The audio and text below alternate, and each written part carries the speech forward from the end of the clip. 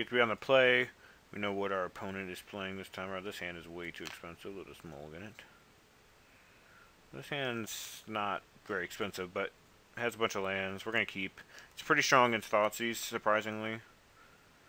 Uh, your two options, really, when you're facing off against a Thoughtseize, ooh, are land-heavy hands, especially ones with which have any type of card filtering, like Temples, or a bunch of redundant spells.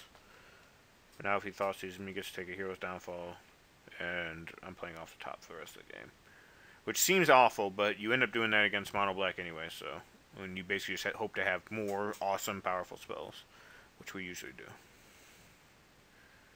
But like here, I'm gonna play a turn two Pack Rat, and then we're gonna put him right, right in the hot seat. So do you have Bile Blight? If not, Jeej.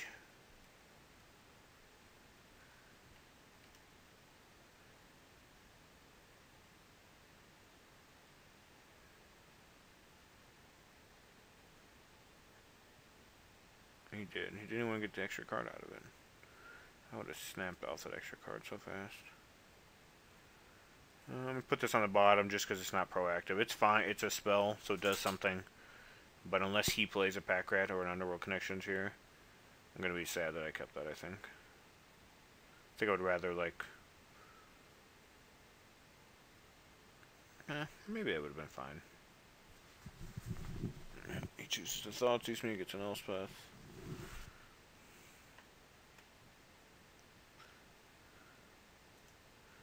Play this because it's a swamp. It actually uh, is kind of poopy because it's the one land he didn't know about, but so I probably shouldn't have played it. Not a big deal.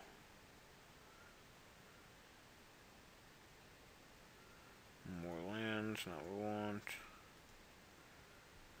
I mean, we have we have a lot of good top decks from this point in the game, but we need to draw them, so we'll just hope for it. We have five mana currently in play, seven mana total, so like Silence the Believers is a pretty good draw. Elspeth's obviously a good draw. Alright, get one card back out of him.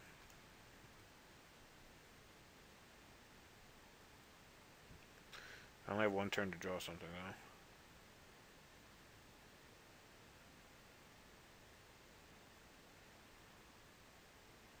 That's not something. Alright, I'm just gonna hope he just doesn't attack with everything. I mean, I got to play one spell this game. That was a pack rat, and it died. So, so I can't really say much.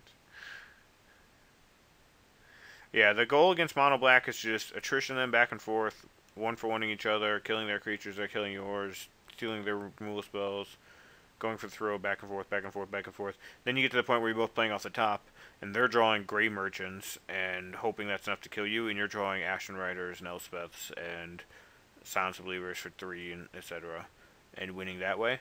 Uh, obviously, neither of these. The last game kind of played out that way, but his top decks are a little bit better than ours, and he got uh, Underworld Connections active, and we didn't really resolve Sphinx's Revelation for very much. But that is what it is. Uh, this game obviously not the most telling, but uh, we'll, we'll, we'll take it and we'll move on. Uh, some improvements definitely have to happen in this deck, but I'm liking where it's going. Uh, I like that I moved two Elspeths to the main deck uh, over a Liliana and in Garruk's Wake, so uh, pretty happy with that change so far, I think.